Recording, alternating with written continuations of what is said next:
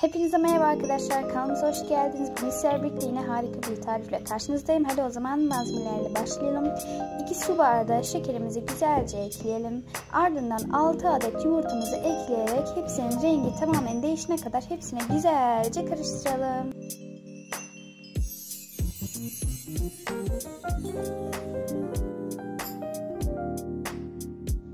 Tamamen rengi böyle değişmeli. Ardından 2 su bardağı yağımızı ekleyelim ve ardından 2 su bardağı sütümüzü ekleyerek hepsini güzelce karıştıralım. Kıvamını güzelce alana kadar.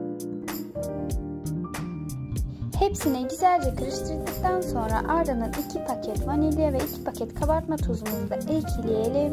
Ardından ise 6 kaşık kakao, kakao pudramızı da güzelce ekleyelim ve hepsini hep beraber güzelce karıştıralım.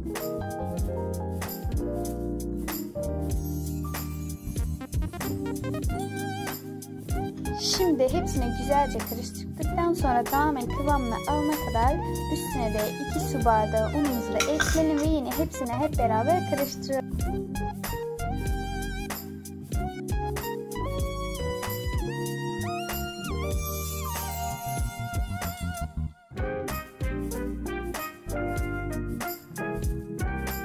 Borcamızı güzel de yağladıktan sonra ardından güzelce her tarafına gelecek şekilde ekleyelim ve pişmesi için 180 dereceye 20 dakika bekletelim. Ardından gördüğünüz gibi güzelce kekimiz tamamen pişmiş. Şimdi ise üzerine 2 çikolatayı bırakıyoruz öyle sıcakken ve kekimizin her tarafına güzelce Kestikten sonra birazcık bekleyelim. Ardından geriye kalan bütün çikolatayı üzerine çikolata sosumuzu güzelce ekleyelim.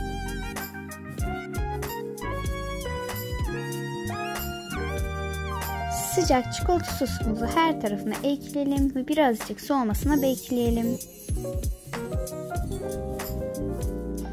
Şimdi enfes kekimiz soğudu. Üzerine bir su bardağı sütü her tarafına gelecek şekilde boşaltalım.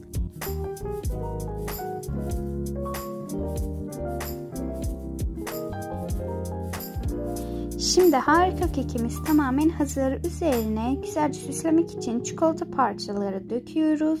Ardından ise servise alabiliriz. Gördüğünüz gibi gerçekten harika görünüyor. Siz üzerine istediğiniz herhangi bir şey de ekleyebilirsiniz. Şimdi artık kekimiz tamamen hazır. Deneyenlere şimdiden afiyet olsun. Gerçekten denemenizi tavsiye ederim. Böyle ıslak ıslak çikolatalı kekler sevenler için tam bir kıvam. Abone olmayı, yorum yapmayı unutmayın. Bizi izlediğiniz için teşekkürler.